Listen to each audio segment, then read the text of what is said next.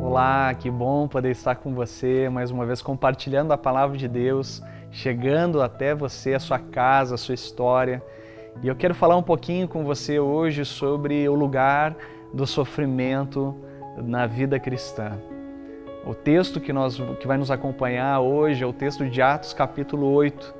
E Atos capítulo 8 nos é revelado, nos é relatado um momento de profunda perseguição que a igreja estava passando e o que Deus estava gerando na vida daquela igreja, qual era o momento que aquela igreja estava vivendo e o que, que Deus estava fazendo na vida daquelas pessoas naquela ocasião. E eu quero ler os versos 1 a 8. Naquela ocasião, olha o que a palavra de Deus diz. Desencadeou-se grande perseguição contra a igreja em Jerusalém. Todos, exceto os apóstolos, foram dispersos pelas regiões da Judéia e de Samaria, a região de Jerusalém e a Samaria que fica um pouco mais distante. Alguns homens piedosos sepultaram Estevão, que foi o mártir, capítulo 7 fala sobre a morte de Estevão, e fizeram ah, por causa dele grande lamentação. Saulo, por sua vez, devastava a igreja.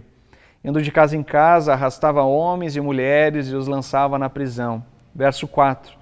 Os que haviam sido dispersos pregavam a palavra por onde quer que fosse.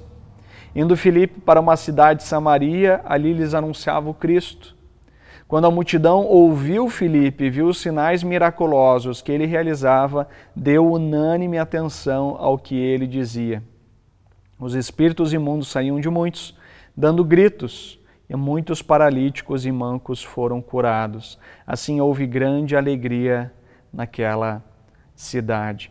Note que o texto começa falando sobre grande perseguição e ele termina dizendo sobre uma grande alegria na cidade. A igreja de Jerusalém é uma igreja que nasce uh, fortalecida, ela nasce com muitas pessoas chegando à fé e se convertendo, mas ela é uma igreja que gradativamente, por estar no contexto judaico, ela acaba se acomodando, ela acaba ficando em si, em si mesmada, ela fica em si mesma e ela, portanto, passa por um momento de acomodação. E é interessante que nesse momento de voltar-se para si mesmo, acontece a perseguição da igreja.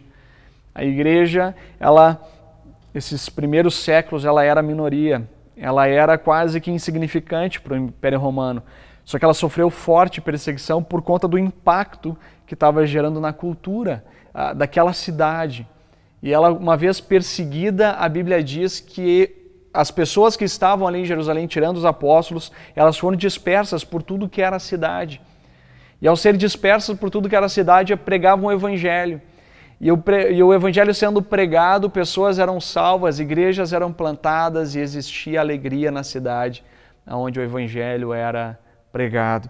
Por isso, eu quero falar para você sobre o que podemos dizer sobre o sofrimento Sofrimento, em primeiro lugar, a gente precisa entender que Deus não tem prazer no sofrimento. O, sofrimento é uma realidade é, oriunda da rebeldia do ser humano em relação a Deus. Deus nunca quis isso. Mas o sofrimento faz parte da, do contexto da humanidade, o contexto do ser humano, o contexto da sociedade na qual nós estamos inseridos. Segundo, ele é fruto da rebeldia, dessa ruptura de Deus e o ser humano.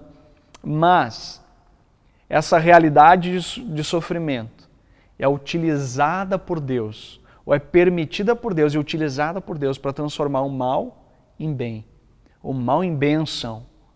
O que aconteceu, por exemplo, com José do Egito, que foi vendido como escravo pelos irmãos, mas ele se tornou ao longo de muitos anos governador do Egito e, através da sua sabedoria dada por Deus, acabou matando a fome de todas as nações naquele contexto. Transformou o mal em bênção. Conduziu José da escravidão a governador, porque tinha um propósito. Eu creio que o sofrimento que a gente tem passado semelhantemente à perseguição que os discípulos de Jesus passaram lá em Atos capítulo 8, quer nos mostrar que existe o sofrimento nos lembra da urgência da missão. A dor nos lembra que precisamos de um Deus que cura e salva. Eu creio que Deus está nos conduzindo como igreja para vivenciar como nunca antes o propósito pelo qual Deus tem nos chamado. E tem a ver com salvação e tem a ver com cura das nações. Tem a ver com o um anúncio ousado da Sua palavra, mas tem a ver com um serviço abnegado daquilo que Deus está nos chamando a fazer como igreja.